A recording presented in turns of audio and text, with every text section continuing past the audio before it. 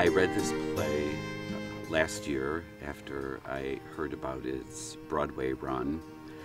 And uh, after finishing the last page, I found that I had fallen in love with the play and that I knew I wanted to put it in our next season. It's a lyrical comedy, I'd say, is almost maybe the best way to say Mm, yeah, it's a pastoral lyrical comedy.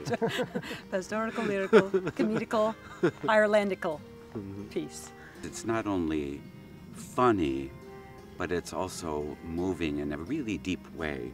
I was very, very fortunate in being able to uh, get the actors I did for this show Bill Norris, Peggy Roeder, Maggie Kettering, and Jay Whitaker.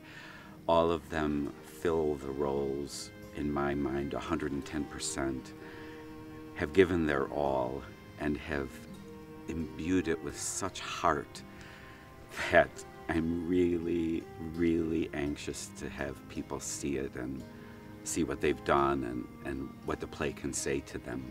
At the beginning, we're we're in this place where uh, the parents are close to passing on, and so there's this tension of is the farm going to be passed down?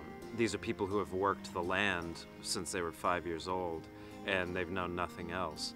And so at the beginning, there is that tension of am I going to get the farm? And what do I do with my life if I don't? This play is about being able to say yes to love now.